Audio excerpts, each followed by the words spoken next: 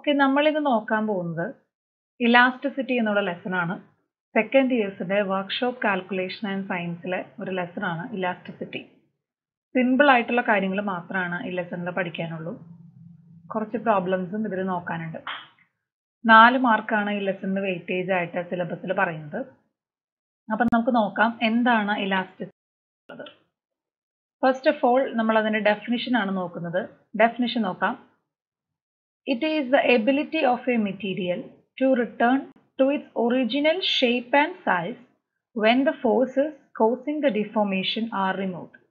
അതായത് നമ്മൾ ഏതൊരു വസ്തുവിലേക്കും കുറച്ച് ഫോഴ്സ് പ്രയോഗിച്ച് കഴിയുമ്പോൾ അതിന്റെ ഷേപ്പിലും സൈസിലും ചേഞ്ച് വരും ആ ചേഞ്ച് വന്നതിന് ശേഷം നമ്മൾ ആ ഫോഴ്സ് നമ്മൾ റിമൂവ് ചെയ്യുകയാണെങ്കിൽ അതിന്റെ ഒറിജിനൽ ഷേപ്പിലേക്കും സൈസിലേക്കും അത് തിരിച്ചു പോകുന്നുണ്ടെങ്കിൽ ആ ഒരു എബിലിറ്റി അല്ലെങ്കിൽ ആ ഒരു പ്രോപ്പർട്ടിനെ പറയുന്ന പേരാണ് എന്ത് ഇലാസ്റ്റിസിറ്റി എന്ന് പറയുന്നത്. ഓക്കെ അത് സിമ്പിൾ ആയിട്ട് പറയുകയാണെങ്കിൽ it is the ability to retain its original shape original shape തന്നെ ഇരിക്കാനുള്ള അതിന്റെ കഴിവിനെയാണ് അതിന്റെ ഇലാസ്റ്റിസിറ്റി എന്ന് പറയുന്നത്. അടുത്തത് പറയുന്നതിന്റെ കോമൺ ആയിട്ട് യൂസ് ചെയ്യുന്ന എക്സാമ്പിൾസ് ആണ്. സ്റ്റീൽ കേബിൾസും റബ്ബർ ബാൻഡ്സും ആണ് കോമൺ ആയിട്ട് യൂസ് ചെയ്യുന്ന എക്സാമ്പിൾസ് ആയിട്ട് പറയുന്നത്. അടുത്ത ഒരു ടോപ്പിക്കിൽ പറയുന്നത് കോമൺ ആയിട്ട് യൂസ് ചെയ്യുന്ന ഇലാസ്റ്റിക് മെറ്റീരിയൽസ് ആണ്. ഇതൊക്കെ പോളിമേഴ്സിൽ വരുന്നതാണ്. Natural gum spandex or Lycra butyl rubber fluoro elastomer elastomer ഈ കാണുന്ന അഞ്ചെണ്ണവും ഇലാസ്റ്റിക് മെറ്റീരിയൽസിന് എക്സാമ്പിൾസ് ആയിട്ട് പറയാവുന്നതാണ്. നെക്സ്റ്റ് നമ്മൾ നോക്കുന്ന ടോപ്പിക്കാണ് പ്ലാസ്റ്റിസിറ്റി ഇലാസ്റ്റിസിറ്റിയുടെ നേരെ ഓപ്പോസിറ്റ് ആണ് പ്ലാസ്റ്റിസിറ്റി എന്ന് പറയുന്നത്. ഡെഫിനിഷൻ നോക്കാം. Plasticity of a material is it ability to undergo some degrees of permanent deformation without rupture failure അതായത് പെർമനന്റ് ആയിട്ട് ഡിഫോർമേഷൻ സംഭവിക്കും. നമ്മളൊരു ഫോഴ്സ് അതിലേക്ക് പ്രയോഗിച്ചു കഴിഞ്ഞാൽ. പക്ഷെ അതിന് റപ്ചറോ ഫെയിലിയറോ സംഭവിക്കുന്നില്ല. അതിന്റെ ആ ഒരു കഴിവിനെയാണ് അതിന്റെ പ്ലാസ്റ്റിസിറ്റി എന്ന് പറയുന്നത്. അടുത്തൊരു പോയിന്റിൽ പറയുന്ന plastic deformation will only takes place after elastic limit of a material ഒരു മെറ്റീരിയലിന്റെ ഇലാസ്റ്റിക് ലിമിറ്റിന് ശേഷമാണ് അത് പ്ലാസ്റ്റിസി പ്ലാസ്റ്റിക് ഡീഫോർമേഷൻ കാണിക്കുള്ളൂ എന്നാണ് പറയുന്നത്. എന്താണ് ഇലാസ്റ്റിക് ലിമിറ്റ് എന്നുള്ളത് നമ്മൾ അടുത്ത ക്ലാസ്സിൽ കാണും. ഇനി അതിന്റെ അടുത്തൊരു പ്രോപ്പർട്ടിയാണ് പറയുന്നത്. It increases with increase in temperature temperature കൂടുന്നതിനനുസരിച്ച് പ്ലാസ്റ്റിസിറ്റി എന്നുള്ള പ്രോപ്പർട്ടിയും ഇൻക്രീസ് ആവും എന്നാണ് പറയുന്നത്. അപ്പൊ പ്ലാസ്റ്റിസിറ്റിയും ഇലാസ്റ്റിസിറ്റിയും കംപ്ലീറ്റ്ലി ഓപ്പോസിറ്റ് ആയിട്ടുള്ള ടേംസ് ആണ് പ്ലാസ്റ്റിസിറ്റി ആൻഡ് ഇലാസ്റ്റിസിറ്റി കമ്പാരിസൺ ആയിട്ട് പറയുകയാണെങ്കിൽ ഈ ഫിഗേഴ്സ് വെച്ചിട്ട് നമുക്കത് എക്സ്പ്ലെയിൻ ചെയ്യാം. ഇതാണ് ഇലാസ്റ്റിസിറ്റിയുടെ ഫിഗർ ഫിഗർ നോക്കുക കാണാം. ഇതാണ് ഫസ്റ്റ് ഫിഗർ ഒരു ലോഡ് നമ്മളിവിടെ വെച്ചിട്ടുണ്ട്. ഒരു മെറ്റീരിയൽ നമ്മളിവിടെ വെച്ചിട്ടുണ്ട്. ഒരു ലോഡ് നമ്മളിവിടെ നടുഭാഗത്തായിട്ട് അപ്ലൈ ചെയ്യാണ്. അപ്ലൈ ചെയ്യുമ്പോൾ എന്ത് സംഭവിച്ചു? അതിനൊരു ഡീഫോർമേഷൻ സംഭവിച്ചു. ഇത് ചെറുതായിട്ടൊന്ന് ബെൻഡ് ആയിട്ടുള്ളത് കാണാം. നെക്സ്റ്റ് പിക്ചറിൽ ആ ലോഡ് നമ്മൾ റിമൂവ് ചെയ്തു. നമ്മൾ കൊടുക്കുന്ന ഫോഴ്സ് ആണ് ഇവിടെ ലോഡായിട്ട് പറയുന്നത്. അത് നമ്മൾ റിമൂവ് ചെയ്തു. റിമൂവ് ചെയ്ത് കഴിയുമ്പോൾ നമുക്ക് കാണാം ഇനീഷ്യലായിട്ട് എങ്ങനെയാണോ ഇരിക്കുന്നത് അതുപോലെ തന്നെയാണ് ഇതിൽ ഇരിക്കുന്നത് ഈ ഒരു പ്രോപ്പർട്ടിയാണ് ഇലാസ്റ്റിസിറ്റി അതായത് ഫോഴ്സ് എടുത്ത് മാറ്റുമ്പോൾ ഒറിജിനൽ ഷേപ്പ് പോലെ തന്നെ ഇരിക്കുന്നതിനെയാണ് നമ്മൾ ഇലാസ്റ്റിസിറ്റി എന്ന് പറയുന്നത്. നെക്സ്റ്റ് പ്ലാസ്റ്റിസിറ്റി നോക്കാം. പ്ലാസ്റ്റിസിറ്റി നോക്കിക്കഴിഞ്ഞാൽ കാണാം ഇതാണ് ഒരു ലോഡ് എന്ന് പറയുന്നത്. ഈ ലോഡ് നമ്മൾ നേരത്തെ ചെയ്ത പോലെ ഒരു ലോഡ് അപ്ലൈ ചെയ്യാണ്. സെക്കൻഡ് ഫിഗറിൽ കാണാം ലോഡ് അപ്ലൈ ചെയ്യുമ്പോൾ അത് ഒബിയസ്ലി എന്ത് ചെയ്യുന്നുണ്ട്? ബെൻഡ് ആവുന്നുണ്ട്. നെക്സ്റ്റിൽ നമ്മൾ ആ ലോഡ് റിമൂവ് ചെയ്യുന്നു. നേരത്തെ ചെയ്ത പോലെ തന്നെ ഈ ലോഡ് നമ്മൾ റിമൂവ് ചെയ്യുന്നു. പക്ഷേ അത് ഒറിജിനൽ ഷേപ്പ് അല്ല. അത് എങ്ങനെയാണോ ഫോഴ്സ് അപ്ലൈ ചെയ്തപ്പോൾ ബെൻഡ് ആയ അതുപോലെ തന്നെയാണ് ഇരിക്കുന്നത്. ആ ഒരു പ്രോപ്പർട്ടി അതായത് ലോഡ് അപ്ലൈ ചെയ്തതിന് ശേഷം ഉള്ള അതിന്റെ ഷേപ്പിനെ അതിനെ തിരിച്ചു നിന്നിട്ട് അതിന്റെ ഒറിജിനൽ ഷേപ്പിലേക്ക് പോകാതിരിക്കാൻ പറ്റുന്ന ആ ഒരു പ്രോപ്പർട്ടിനെ പറയുന്ന പേരാണ് അതിന്റെ പ്ലാസ്റ്റിസിറ്റി എന്ന് പറയുന്നത്. അപ്പോൾ ഇലാസ്റ്റിസിറ്റിയും പ്ലാസ്റ്റിസിറ്റി എന്താണെന്ന് മനസ്സിലായെന്ന് വിചാരിക്കണം. ഇറ്റ് ഇസ് കംപ്ലീറ്റ്ലി ഓപ്പോസിറ്റ് രണ്ട് നേരെ നേരെ ഓപ്പോസിറ്റ് ആയിട്ടുള്ള കാര്യങ്ങളാണ് ഇലാസ്റ്റിസിറ്റി എന്ന് പറയുന്നതും അതുപോലെ പ്ലാസ്റ്റിസിറ്റി എന്ന് പറയുന്നത്. അപ്പൊ നമ്മൾ അടുത്തത് നോക്കുന്നത് എന്താണ് പ്ലാസ്റ്റിസിറ്റി എന്ന് നമ്മൾ പറഞ്ഞു അല്ലേ അപ്പോൾ പ്ലാസ്റ്റിസിറ്റിയുടെ കേസിൽ പ്ലാസ്റ്റിക്സിനെ രണ്ടെണ്ണമായിട്ട് ക്ലാസിഫൈ ചെയ്തിട്ടുണ്ട്.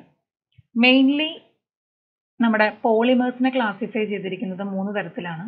ഒന്ന് fibres second one plastics and third one elastomers ഇതിൽ പ്ലാസ്റ്റിക്സിന്റെ ക്ലാസിഫിക്കേഷൻ ആണ് നമുക്ക് പഠിക്കാനുള്ളത്. നമ്മളിപ്പോൾ തന്നെ പ്ലാസ്റ്റിസിറ്റി എന്താണെന്ന് പറഞ്ഞായിരുന്നു. അപ്പോൾ അതിന്റെ ബേസിൽ ഈ പ്ലാസ്റ്റിക്സിനെ രണ്ടെണ്ണമായിട്ട് ക്ലാസിഫൈ ചെയ്തിട്ടുണ്ട്. First one is thermoplastics and second one is thermosetting plastics അപ്പോൾ അടുത്തത് എന്തായിട്ട് നമുക്ക് തെർമോ പ്ലാസ്റ്റിക്സും തെർമോസിറ്റിംഗ് പ്ലാസ്റ്റിക്സും എന്താന്ന് നോക്കാം. ഈ ഫിഗറിൽ നിന്ന് അണ്ടർസ്റ്റുഡ് ആണ്. തെർമോ പ്ലാസ്റ്റിക്സ് എന്ന് പറഞ്ഞു കഴിഞ്ഞാൽ ഇതുപോലെ നമ്മൾ കോമൺ ആയിട്ട് കാണപ്പെടുന്ന പ്ലാസ്റ്റിക് മെറ്റീരിയൽസ് ആണ് തെർമോ പ്ലാസ്റ്റിക്സ് എന്ന് പറയുന്നത്. That can be melted repeatedly നമുക്ക് വീണ്ടും വീണ്ടും മെൽറ്റ് ചെയ്ത് വേറെ ഷേപ്പിലേക്ക് മാറ്റാൻ പറ്റുന്ന ടൈപ്പിലുള്ള പ്ലാസ്റ്റിക്സിനെയാണ് നമ്മൾ തെർമോ പ്ലാസ്റ്റിക്സ് എന്ന് പറയുന്നത്. ഓക്കെ തെർമോ സെറ്റിംഗ് പ്ലാസ്റ്റിക്സ് എന്ന് പറഞ്ഞു കഴിഞ്ഞാൽ once shaped cannot be melted ഒരിക്കൽ അതൊരു ഷേപ്പിലേക്ക് ചേഞ്ച് ചെയ്ത് കഴിഞ്ഞാൽ പിന്നെ നമ്മൾ ചൂടാക്കിയാലോ എന്ത് ചെയ്താലോ അതിന് വേറെ ഷേപ്പിലേക്ക് ചേഞ്ച് ചെയ്യാൻ പറ്റുന്നില്ല. ആ ഒരു പ്ലാസ്റ്റിക്സ് ആണ് തെർമോ സെറ്റിംഗ് പ്ലാസ്റ്റിക്സ് കോമൺ ആയിട്ട് പറയുകയാണെങ്കിൽ നമ്മൾ സാധാരണ ഉപയോഗിക്കുന്ന പ്ലാസ്റ്റിക് മഗ്ഗുകൾ കപ്പുകൾ അതൊക്കെയാണ് ഈ തെർമോ പ്ലാസ്റ്റിക്സിൽ വരുന്നത്. തെർമോ സെറ്റിംഗ് പ്ലാസ്റ്റിക്സിൽ വരിക നമ്മുടെ ഐസി ഒക്കെ ഉണ്ടാക്കുന്നത്. അതുപോലെ തന്നെ നമുക്ക് കാണപ്പെടുന്ന കോമൺ ആയിട്ടുള്ള ഇലക്ട്രിക്കൽ പ്ലഗുകൾ അങ്ങനത്തെ സാധനങ്ങളിൽ ഉപയോഗിക്കുന്ന പ്ലാസ്റ്റിക്സ് ആണ് നമുക്ക് രണ്ടാമത് ചേഞ്ച് ചെയ്ത് വേറെ ഷേപ്പിലേക്ക് മാറ്റാൻ പറ്റാത്തത്. അപ്പോൾ അതാണ് തെർമോ സെറ്റിംഗ് പ്ലാസ്റ്റിക്സ് ചേഞ്ച് ചെയ്യാൻ പറ്റുന്നത് തെർമോ പ്ലാസ്റ്റിക്സ് അപ്പോൾ നമുക്ക് ഓരോന്നിന്റെ ക്ലാസിഫിക്കേഷൻ പ്രത്യേകത വായിച്ചു നോക്കാം. തെർമോ സെറ്റിംഗ് പ്ലാസ്റ്റിക്സ് അതായത് നമ്മൾ പ്ലഗിലൊക്കെ യൂസ് ചെയ്യുന്ന പ്ലാസ്റ്റിക്സിന്റെ പ്രത്യേകതയാണ് പറയുന്നത്. Thermosetting plastics cannot be bend easily പെട്ടെന്ന് വളയ്ക്കാനായിട്ട് പറ്റില്ല. It may break when forced to bend അത് വളയ്ക്കാൻ പരിശ്രമിച്ചു കഴിഞ്ഞാൽ അത് എന്ത് ചെയ്യാൻ ചാൻസ് ഉണ്ട്? പൊട്ടിപ്പോവാൻ അല്ലെങ്കിൽ വളയാൻ ചാൻസ് ഉണ്ട്. പൊളി ഒടിയാൻ ചാൻസ് ഉണ്ട്. Thermosetting plastics cannot be softened by heating ചൂടാക്കി കഴിഞ്ഞാൽ അത് സോഫ്റ്റ് ആവില്ല ഈ thermosetting plastics thus it cannot be reshaped once moulded അതായത് വൺസ് ഒരു ഷേപ്പിലേക്ക് അതിനെ മോൾഡ് ചെയ്ത് കഴിഞ്ഞാൽ അതിനെ റീഷേപ്പ് ചെയ്യാനായിട്ട് പറ്റില്ല എന്നുള്ളതാണ് നമ്മുടെ തെർമോ സെറ്റിംഗ് പ്ലാസ്റ്റിക്സിന്റെ പ്രത്യേകത.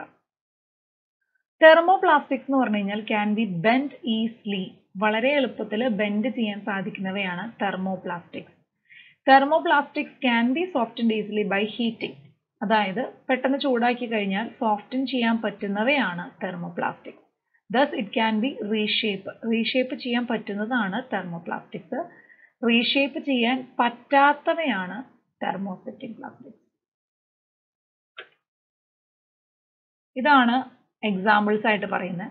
തെർമോപ്ലാസ്റ്റിക്സ് എക്സാമ്പിൾ പറയുന്നത് P E T poly ethylene terephthalate P P polypropylene P V A poly vinyl acetate P V C polystyrene L D P and H D P ഇതാണ് common ആയിട്ടുള്ള plastics നമ്മൾ use ചെയ്യുന്ന plastics ആണിത്. ഇതാണ് നമുക്ക് രണ്ടാമത് heat ചെയ്ത് വേറെ ഷേപ്പിലേക്ക് മാറ്റാൻ പറ്റുന്ന ടൈപ്പ് പ്ലാസ്റ്റിക്സ് എന്ന് പറയുന്നത്.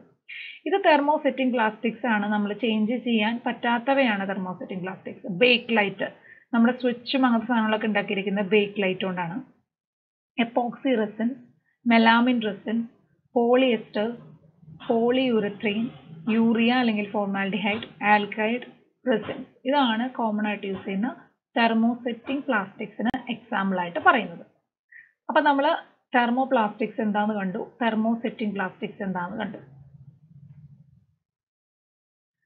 അടുത്തത് നമുക്കൊന്ന് കൺക്ലൂഡ് ചെയ്ത് പറയാണ് ഇത്ര നേരം പറഞ്ഞത്. എന്താണ് ഇലാസ്റ്റിസിറ്റി എന്ന് നമ്മൾ പറഞ്ഞു. ഇലാസ്റ്റിസിറ്റി എന്ന് പറഞ്ഞു കഴിഞ്ഞാൽ it is a property regain shape അതായത് ഷേപ്പ് റീഗെയിൻ ചെയ്യാനുള്ള അതിന്റെ പ്രോപ്പർട്ടീനെയാണ് നമ്മൾ ഇലാസ്റ്റിസിറ്റി എന്ന് പറഞ്ഞത്. അതിന്റെ എക്സാമ്പിൾസ് നമ്മൾ കണ്ടു. പിന്നെ നമ്മൾ പറഞ്ഞത് പ്ലാസ്റ്റിസിറ്റി ആണ്. പ്ലാസ്റ്റിസിറ്റി എന്ന് പറഞ്ഞു കഴിഞ്ഞാൽ അതിന്റെ ഒറിജിനൽ ഷേപ്പിലേക്ക് അതിന് തിരിച്ചു വരാൻ പറ്റില്ല. ആ ഒരു പ്രോപ്പർട്ടീനെയാണ് അതിന്റെ പ്ലാസ്റ്റിസിറ്റി എന്നുള്ള പ്രോപ്പർട്ടി എന്ന് പറയുന്നത്. അതിന്റെ വ്യത്യസ്ത എക്സാമ്പിൾസ് കണ്ടു. പിന്നെ ആ പ്ലാസ്റ്റിസിറ്റി എന്നുള്ള ടോപ്പിക്കിലാണ് നമ്മൾ രണ്ട് ടൈപ്പ് പ്ലാസ്റ്റിക്സ് കണ്ടത്. തെർമോ പ്ലാസ്റ്റിക്സും തെർമോസെറ്റിംഗ് പ്ലാസ്റ്റിക്സും കണ്ടു. അത്രയാണ് നമ്മളിപ്പോൾ ഇത്രയും ഭാഗത്തിൽ നമ്മൾ ഡിസ്കസ് ചെയ്തത്. അപ്പോൾ ഇനി ബാക്കിയുള്ള ഭാഗം നമുക്ക് അടുത്ത ഭാഗത്തിൽ ഡിസ്കസ് ചെയ്യാം.